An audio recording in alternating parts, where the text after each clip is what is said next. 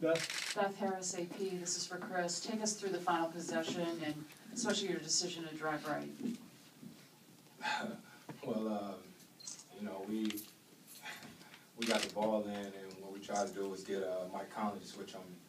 Uh, so that's why I screened for Maul, uh, cause obviously Tony's their, their best defender.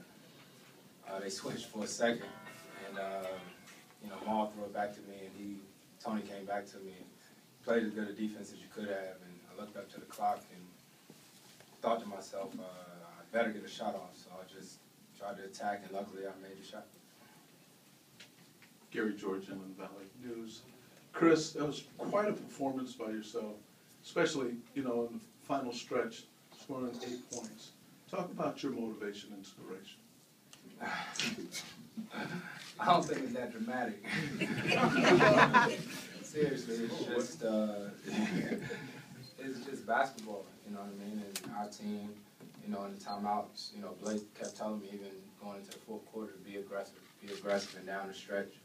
You know, we knew Z-Bo was in foul trouble. We tried to bring Marc away from the basket. and Just try to be aggressive and try to make, uh, make some plays, especially the way Conley was blowing by me on the other end. Least I could do is make a couple shots.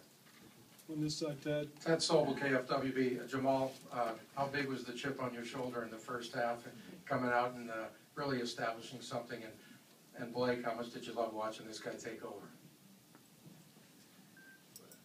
Well, honestly, it's more about winning than anything. I know a lot of people say, you know, go out there and prove why you should have been this or that, but you kind of feel like you've been proving it all season, so it's not about that. You just want to go out and win. And um, tonight, my teammates told me to be aggressive. You know, I think when, especially us three and the other guys that are aggressive, it's hard to key in on, you know, three guys. And guys are stepping up, and it's about winning, and that's all, all I was really thinking about. I, I mean, I loved it, obviously. Uh, you know, it's funny, Grant and I were talking after shoot down today, and, and we were talking about the six man thing, it was on, it was on SportsCenter, and Grant turned to me and said, you watch, Jamal's gonna have a big night tonight, he's gonna come out hot.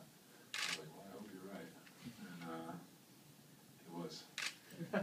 Right here, uh, Jill. Jill, Jill Painter, LA Daily News. Blake, can you talk about um, your first quarter you got going offensively early? Can you talk about the difference between tonight and, and uh, game one for you? Uh, everybody just told me to be aggressive. You know, my teammates got me got me open shots, got me easy easy looks, and you know, like it's gets gets me going. And fortunately, some of them fell. And um, you know, it really started with us how our, how we you know attacked and we, we kept moving the ball. We kept it you know from side to side. We didn't you know stand still, and, and um, you know that that's that's the reason for the easy shots. Arash?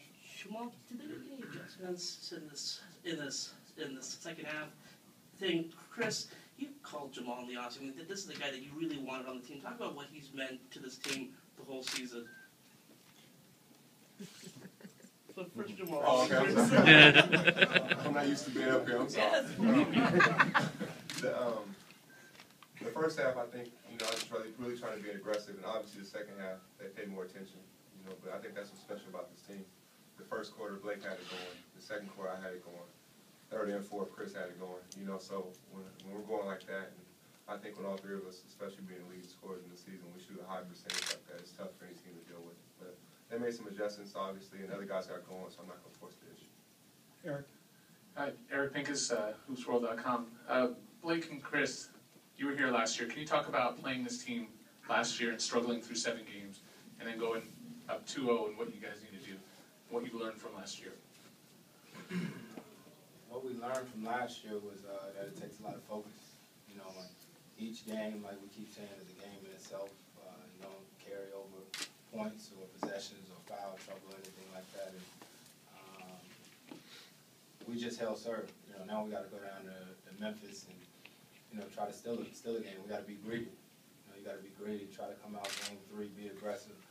Know that they'll be at home in front of their fans with a lot of energy and. Uh, you know, they feel like they need to win two games at home now.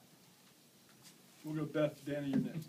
Yeah, um, Chris, uh, what were you guys saying to each other there as the refs were reviewing the, the play there at the end? Um, we was talking about, um, if they wanted me to be in front of the rim, to not let them tip it in, or, or Blake or DJ. You know what I mean? Ultimately, we decided to let them get at the. That's why we weren't huddled up long.